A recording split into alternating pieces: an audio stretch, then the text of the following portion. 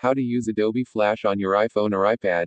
Growing up, you might have come across Flash while playing a game or using an interactive site.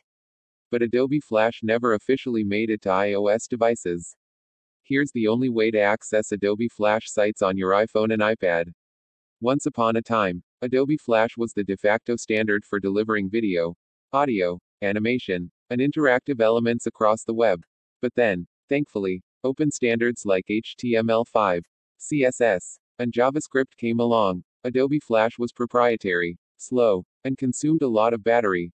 It just didn't work well on mobile devices. Since then, the mobile web has thrived. Adobe is scheduled to officially sunset the Adobe Flash product in 2020. Major desktop browsers are now discontinuing support for Adobe Flash. Although you can manually re enable Flash in Google Chrome, Apple devices like iPhone and iPad never officially supported Adobe Flash. In 2010, Steve Jobs wrote an open letter called Thoughts on Flash, which still makes for a good read. In it, he outlined the reasons for not implementing Adobe Flash in Apple devices.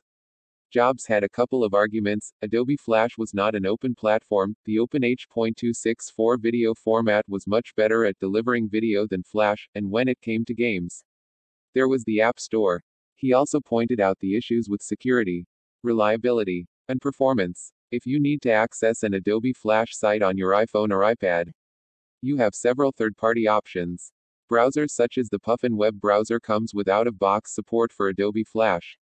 Other browsers like Photon also offer this feature, but we recommend Puffin because it's highly rated and free.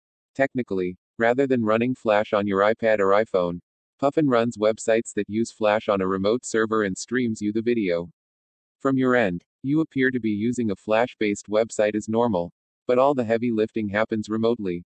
To get started, open the App Store, search for Puffin Web Browser, and tap on the Get button to download the free browser.